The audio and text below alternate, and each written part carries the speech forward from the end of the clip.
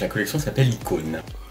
Et en fait, je suis parti sur ce mot icône, et comme j'avais envie de prendre les gens à contre-pied, euh, c'était icône, mais surtout pas pour des icônes religieuses, ce que, ce, que, les gens forcément allaient penser, et en plus je l'ai accentué sur mon visuel d'invitation, avec comme ça ces silhouettes féminines qui dessinaient un petit peu une croix, et, euh, au contraire chez moi c'était plutôt une icône euh, guerrière, euh, donc une femme un petit peu guerrière et qui, euh, et qui avançait masquée, euh, masquée du moins pour, le visage, pour la protection. Et puis, par contre, qui n'était pas forcément masquée dans les robes.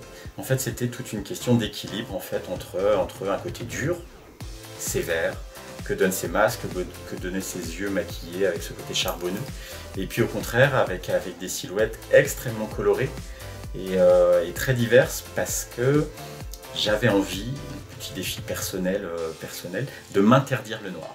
C'est-à-dire que le noir en petites touches, en rythme sur les robes, oui, mais aucune robe noire, interdiction formelle de faire la moindre robe noire. chez nous, c'est important parce qu'on fait beaucoup, beaucoup de, beaucoup de broderies, beaucoup d'applications, beaucoup de réapplications en fait sur, euh, sur les matières.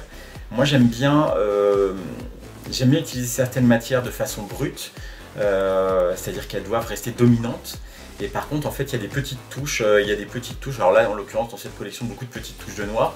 Et par contre, les petites touches de noir deviennent très importantes parce que tout le travail de matière, tout le travail de main, d'atelier, est présent sur ces petites touches de noir.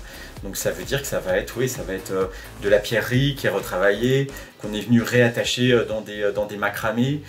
c'est des réapplications de dentelles, donc c'est des dentelles qu'on a redécomposées qu'on a redécoupé en tout petits morceaux, et puis après qu'on vient recomposer comme on les aime, euh, parce qu'en fait sur les, les, motifs de dentelle sont plutôt répétitifs en fait sur une dentelle. Donc nous, moi j'aime bien quand c'est pas répétitif, quand c'est c'est un petit peu mon côté, euh, mon côté c'est ce qui me reste de, de, de, mon passage chez, chez Monsieur Lacroix, c'est que j'aimais bien quand il disait euh, c'est le symétrique asymétrique. C'est-à-dire qu'en fait, c'est ça paraît symétrique de loin, et, puis quand on se rapproche de près, il n'y a rien qui est symétrique.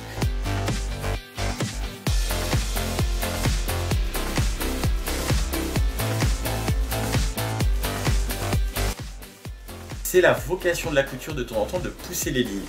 Puis moi j'avoue que voilà, c'est euh, euh, un petit peu euh, ma, position d'aujourd'hui.